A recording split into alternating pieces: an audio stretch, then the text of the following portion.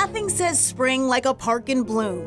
Many parks, however, are cultivated with popular plants not native to the area. How we define native is plants that grow without human intervention within the ecoregions of New England.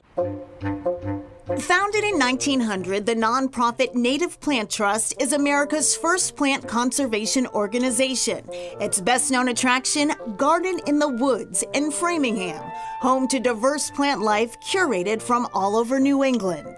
As we're seeing, unfortunately, through many, many studies now, the decline in insects, the decline in diversity and species richness in birds, all of this is being tied to the loss of biodiversity of native plants. We have ramps. Uli Lorimer is director of horticulture here. This 45-acre botanic garden normally receives 20,000 visitors every year.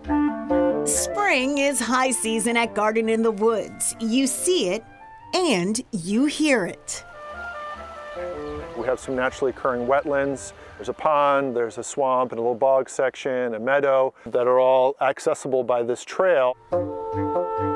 Between 2,000 and 3,000 native plant species flourish here.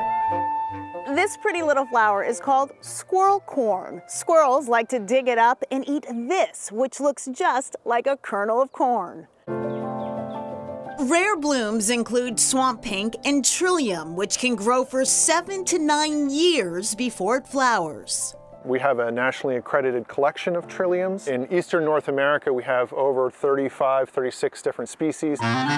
One of those species is a prankster with a peculiar name. So this flower right here is the stinking Benjamin. Oh. and it is true to its name. The stinking Benjamin smells like wet dog or rotting meat, depending on who you ask.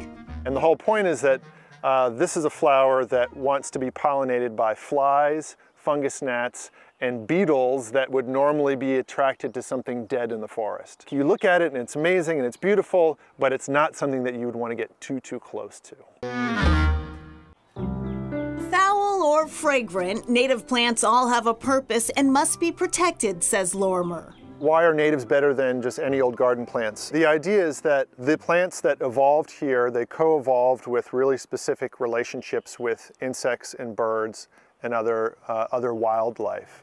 And in order to keep them alive and around, you have to give them what they have evolved with. Botanists and arborists at the Native Plant Trust study this issue constantly, says Executive Director Debbie Edelstein. Nationwide, about 25% of the plants, as in New England, about 25% of the plants are, are uh, rare and endangered and declining. In New England, there are 389 species that are globally or regionally rare. Mostly it's because of man-made changes to the landscape, um, whether it's development or abundance of deer, trampling, climate change.